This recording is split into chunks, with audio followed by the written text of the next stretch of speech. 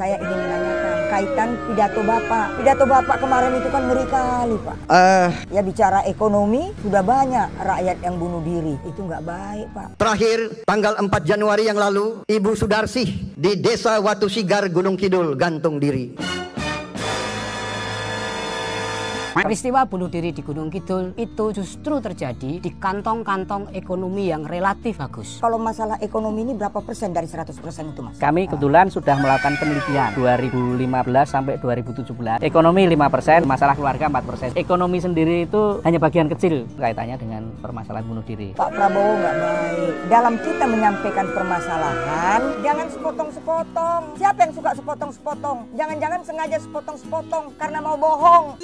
Produsen-produsen hoax itu selalu memproduksi berita-berita yang salah, berita-berita yang bohong dan meresahkan sehingga menurunkan kepercayaan terhadap pemilu.